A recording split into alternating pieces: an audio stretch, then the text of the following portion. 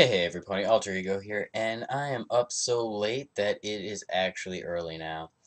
I frequently find this happens a lot, and actually have a lot of what I would love to think are pretty amazing thoughts at this time of night. Chances are most of them aren't, but I never end up putting them down, sharing them all too frequently, and a lot of times they end up getting lost, because as I'm lying there trying to fall asleep, my mind's racing through tons of crazy ideas and thinking about things in complex ways, and by the time I'm on my next day, like, I'm usually engaged in the world that I live in to be thinking about some of these much more, like, higher level thought patterns. But something that I was just thinking about that I really kind of do want to share, so hey, hey, hey, would be the word organic, and I guess sort of how we don't really use it very definedly in general, that sort of concept. And I guess in the end, it's sometimes it's meant to use anything that's like, you know, natural, and then people are like, well, that's everything technically.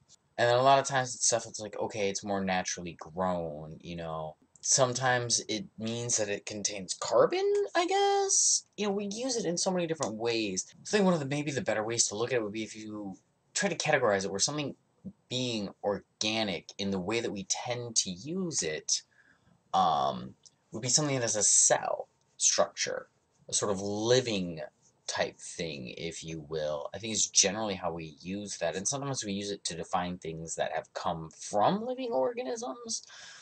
And so that's where we start blurring the lines, and it's like, well, if technically this is, then wouldn't this be?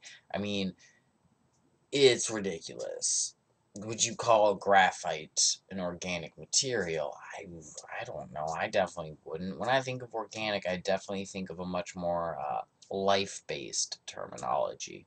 I don't know, those are just some of my thoughts, and obviously it didn't really end up anywhere because communication is crazy and everybody's going to use the words that they know as they know them and hopefully as fittingly as they can, though not everybody is as apt in their word usage, much less their